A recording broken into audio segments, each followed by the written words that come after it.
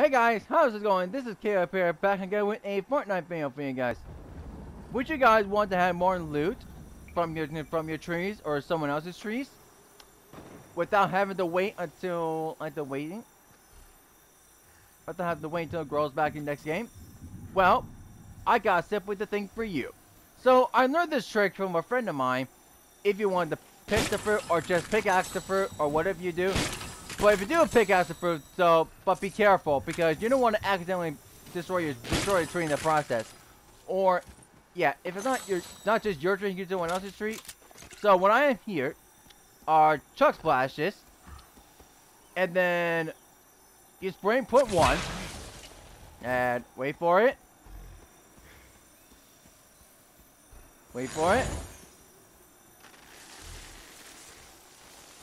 it. and the fruit goes back, and you get more fruit, and get more loot.